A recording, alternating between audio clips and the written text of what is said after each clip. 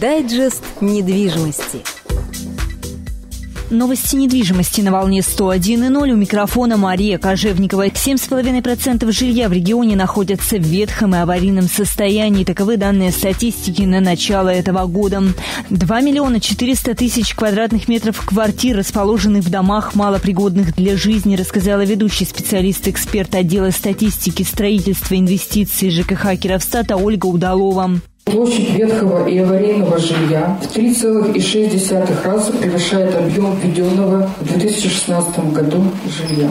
В 2016 году в Кировской области введено 662 тысячи квадратных метров, что почти на 9% меньше, чем в 2015 году.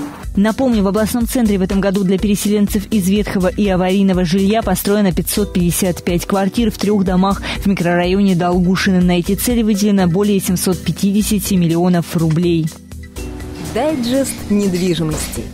Лебяжские чиновники приняли дом для переселенцев, построенный с нарушениями. Пятиквартирный дом по улице Производственной 3 в Лебяжье возведен в рамках программы переселения граждан из аварийного и ветхого жилья компании «Стройся Вятка». В июне дом был принят специальной комиссией, но во время прокурорской проверки выяснилось, что система вентиляции в нем сделана неправильно. После вмешательства прокуратуры нарушения были устранены, а два чиновника привлечены к административной ответственности.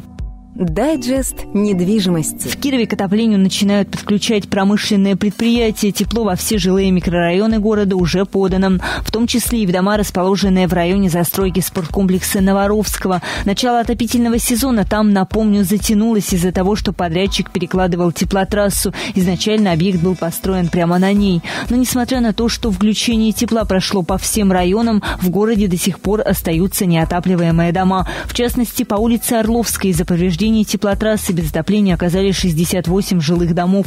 Также из-за дефектов сети подача отопления была прекращена в 9 домах по улицам Воровского, Кольцова, Сурикова, Щерса, по Октябрьскому проспекту. По словам представителей КТК, сразу после обнаружения дефектов коммунальщики начали работать над их устранением. На этом все. В студии работала Мария Кожевникова.